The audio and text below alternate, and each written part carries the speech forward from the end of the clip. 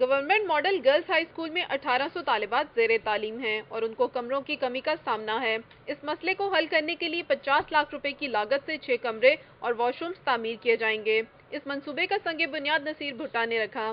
اس موقع پر اسکول کے ایڈمنسٹریس نفیسہ حسیب، اساتذہ اور مسلم لیگ نون کے مقامی رہنما رانا شوکت، میاں سلیم، میاں افضال، میاں سلامت اور مرزا فیصل بھی موجود تھے۔ اسکول کے ایڈمنسٹریس نے رکن قومی اسمبلی کو اساتذہ اور غیر تدریسی عملے کی کمی سے بھی آگاہ کیا۔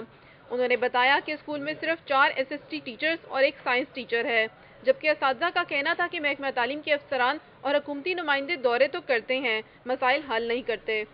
اٹھارہ سو کے لگ بھگ طالبات ہیں۔ اس کے حساب سے ابھی بھی ہم تین چار کلاس روم میں ڈیفیشنٹ ہیں۔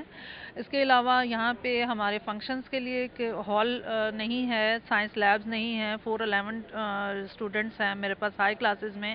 And I have got only four teachers in high classes اور اس کے حساب سے پھر مجھے تین سائنس ٹیچرز کی ریکوائرمنٹ ہے۔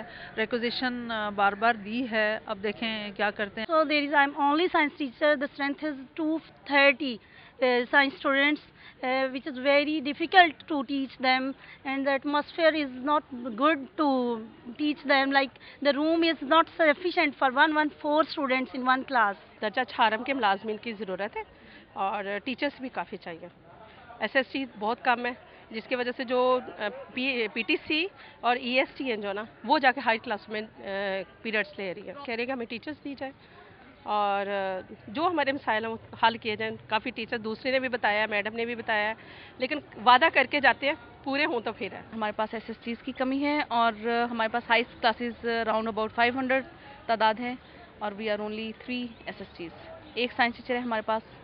تو دس بارہ ہونے چاہیے ٹیچرز اور۔ M N A Naseer Ahmed Bhatta نے اسکول میں سائنس لیبارٹری بنانے اور بنیادی مسائل کے حل کی یقین دہانی کرائی۔ درجہ چہارم کا جو عملہ ہے اس کی شدت سے قلت محسوس کی جا رہی ہے چونکہ یہاں پہ تو ایک ہمیں یہاں پہ مالی بھی چاہیے یہاں پہ سویپر بھی چاہیے یہاں پہ گیٹ کیپر بھی چاہیے۔ تو اس کے لیے چونکہ وہ بھی فائنانس ڈپارٹمنٹ سے ہمیں الٹیمیٹلی جانا پڑتا ہے بیکاز اگر کوئی مالی ہم نے بھرتی کرنا ہے تو اس کے لیے سیٹ کی کریشن ہوتی ہے، اور وہ مالی جو ہے وہ پھر اس سیٹ کے محاذ پہ تنخواہ لیتا ہے۔ اس کے لیے ہم نے، انہوں نے دیا ہے ریکوزیشن اپنی۔ اور وہ ریکوزیشن ہم فارورڈ کر رہے ہیں to the chief minister of Punjab انشاءاللہ that will be also taken care of اساتذہ کا کہنا ہے کہ سرکاری اسکولوں میں بنیادی سہولتوں کے فقدان کے باعث تدریسی معیار بھی متاثر ہوتا ہے۔ حکومت موسم گرما کی تعطیلات میں بنیادی مسائل حل کرے تاکہ چھٹیوں کے بعد پوری توجہ تعلیم و تدریس پر مرکوز کی جا سکے۔ کیمرامین خورم شہزاد کے ساتھ Amra Abrar city forty two